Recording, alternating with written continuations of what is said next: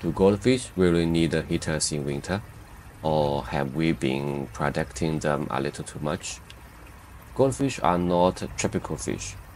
They evolved from crucian carp, a species that survives freezing winters in the wild. In this video, I'm not here to say heaters are wrong. Instead, I want to show you why goldfish can overwinter naturally, and why natural wintering can actually make them healthier stronger, and more beautiful. This is how goldfish have survived the winter for centuries.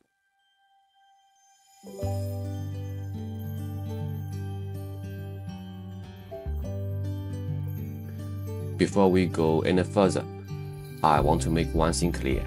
This video is not uh, anti-heater. In some situations, heaters are absolutely useful, especially for sick fish, temperature control, or extreme conditions. But heaters are not the only correct option. Natural wintering is not a risky experiment. It's a biological option that aligns with how goldfish evolved. Goldfish are cold-blooded fish. They originated from mutations of carp, and they still carry the same survival systems as their wild ancestors. In nature, crucian carp live in ponds, lakes, and slow rivers, where water temperatures drop dramatically in winter. Goldfish inherited this ability to adapt to seasonal change. They are designed to slow down, rest, and wait for spring.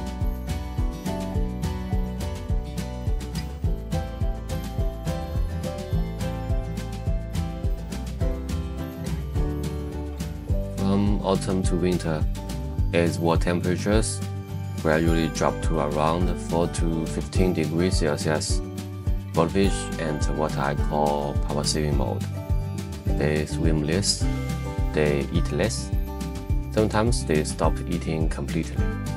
This state is known as semi-dormancy. Below 4 degrees Celsius, goldfish enter a state very close to true hibernation. This is not weakness, it's a natural survival instinct. So why do many experienced goldfish keepers choose natural wintering? Let's talk about the real benefits. First, enhance the color and breeding potential. Low temperatures stimulate gonad development and hormone production. These hormones enhance color expression. Day-night temperature differences help pigments settle. Reds become deeper, blacks become darker.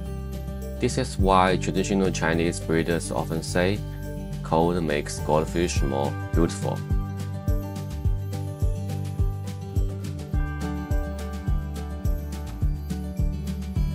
Second, stronger bodies and better immunity. Cold water slows metabolism, energy consumption decreased, fat reserves and preserved. Goldfish that follow natural temperature cycles often have stronger immune systems and better adaptability. They are not greenhouse fish. Third, improve the body shape and appearance. In warm seasons, goldfish tend to grow longer and slimmer. Winter cold suppresses vertical growth, allowing the body to become rounder, thinner, and more compact. Reduced feeding also helps direct nutrients toward head growth and scale quality, especially in ranchu goldfish.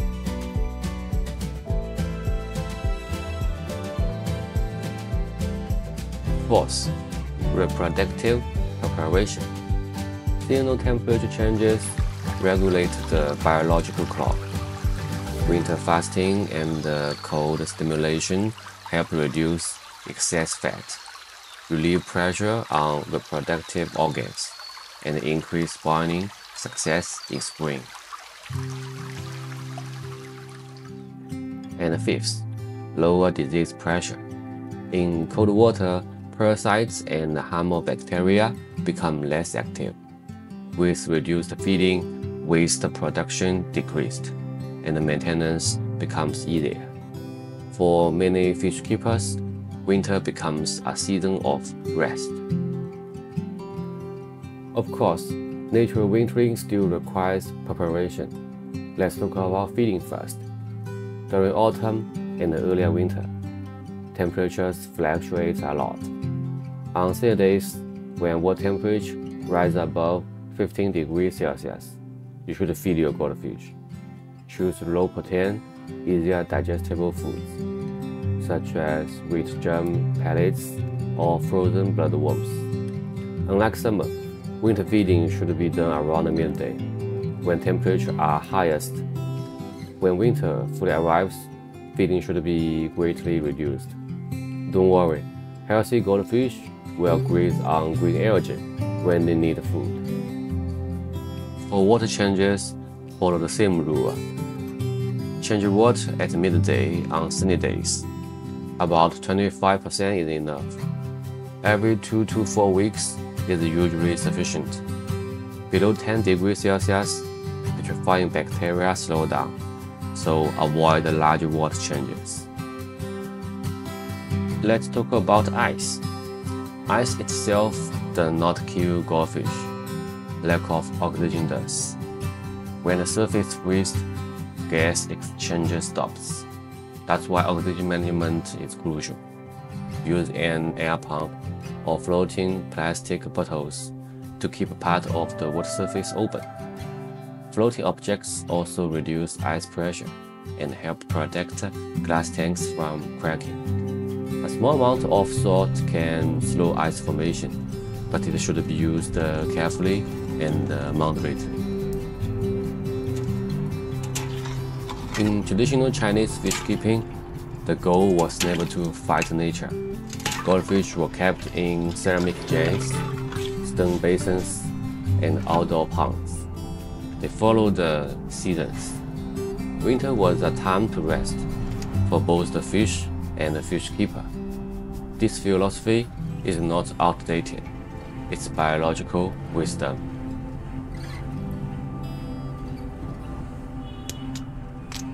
So let's summarize. Goldfish can overwinter naturally. Nature wintering has real, proven benefits. And your main responsibility is not temperature, it's oxygen. Some weak fish may not survive winter but that's not uh, winter's fault. Healthy goldfish emerge stronger, brighter, and better prepared for spring. Winter is a season of patience. Take this time to rest, to travel, to observe. When spring arrives and your goldfish awaken, you will understand why following nature is sometimes the best care for. Thank you for watching. If this video helped you see winter differently, please like and subscribe. I'll see you in the next video.